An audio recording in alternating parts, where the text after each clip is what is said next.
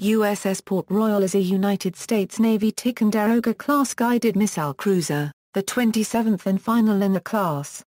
She is the second U.S. warship to bear the name of two naval battles of Port Royal Sound, South Carolina, of the American Revolutionary War and the American Civil War.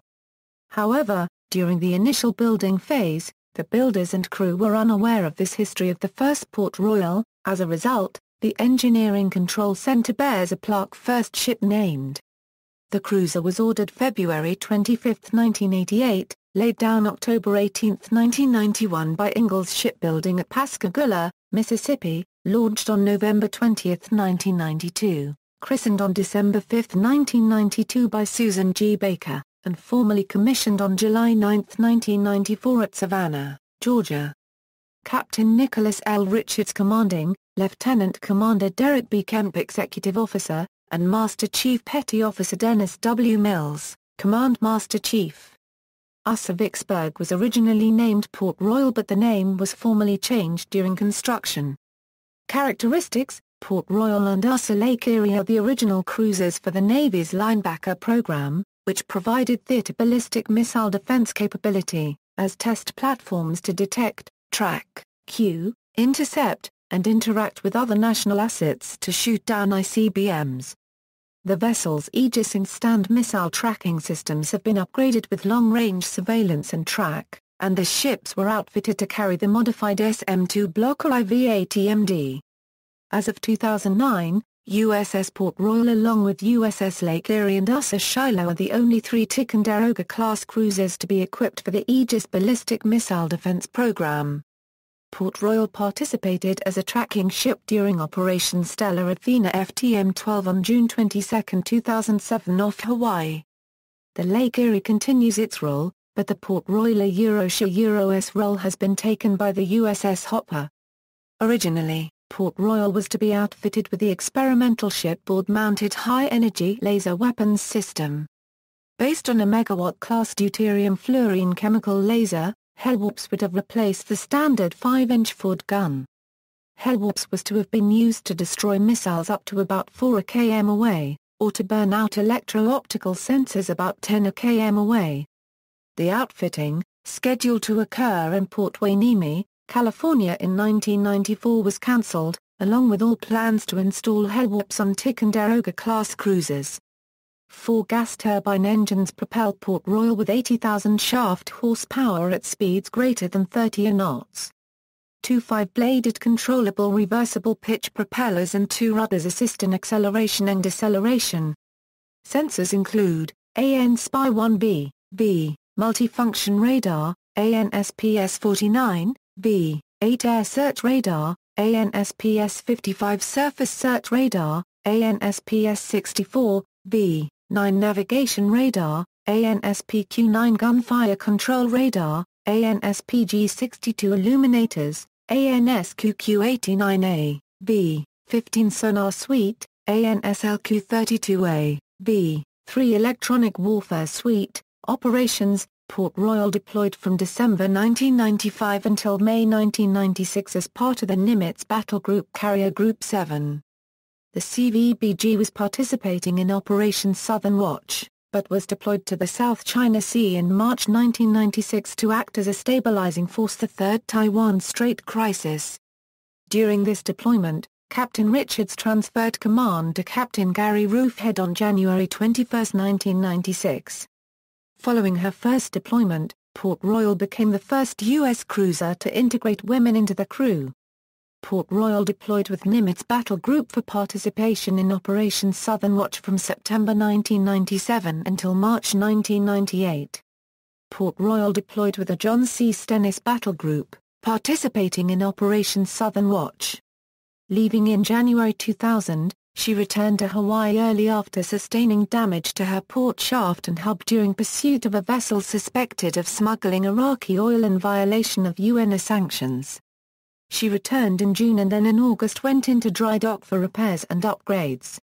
Port Royal deployed early Pearl Harbor on November 17, 2001 to join the John C. Stennis Battle Group on deployment in support of Operation Enduring Freedom. In March 2003 she was assigned to Carrier Group 7. Port Royal deployed with Peleliu Expeditionary Strike Group 1 in support of the global war on terrorism from September 3, 2003 until March 11, 2004. This was the very first deployment of an expeditionary strike group. Port Royal deployed with Peleliu Expeditionary Strike Group 3 in support of the global war on terrorism from February 27, 2006 until August 5, 2006.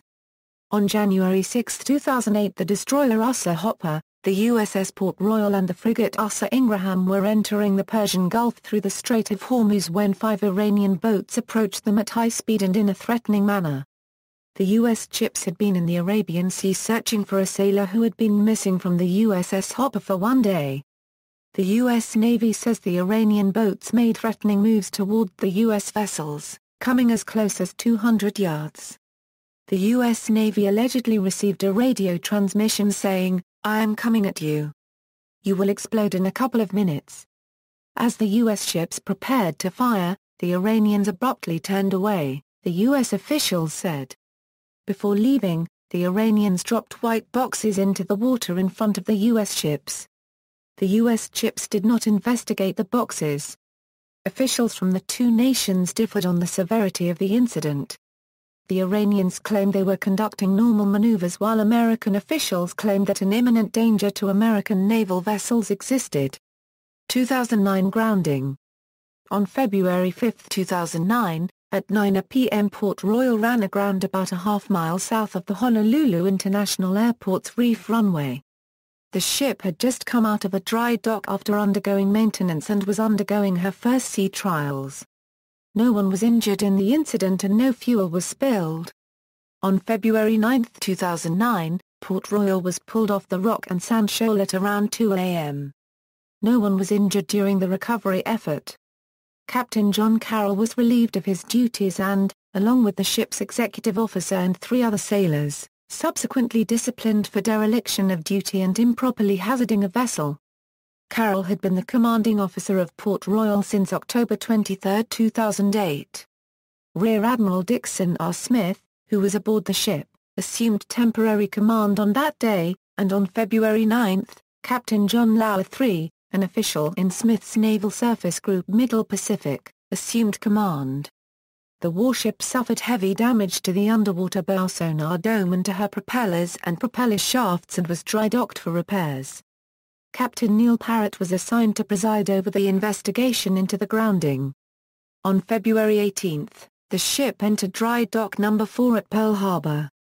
The Navy estimated that repairs would cost between $25 and $40 million.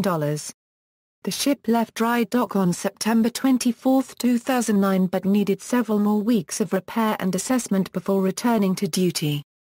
2011 deployment and beyond, after repairs were effected, the cruiser departed on an eight-month deployment to the Western Pacific and Middle East but was forced to stop in Bahrain to have structural cracks repaired.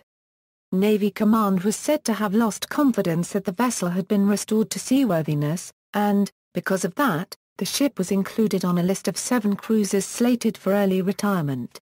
Decommissioning in anticipation of eventual dismantlement was set for March 31, 2013. However, in answer to queries by Congress, the Naval Sea Systems Command, in a report sent to Congress in May 2013, reported that the condition of the ship was comparable to certain other cruisers in the same class and that the effects of the grounding might not have been as severe as had been previously thought. A full report on the ship and its condition was anticipated in early August 2013.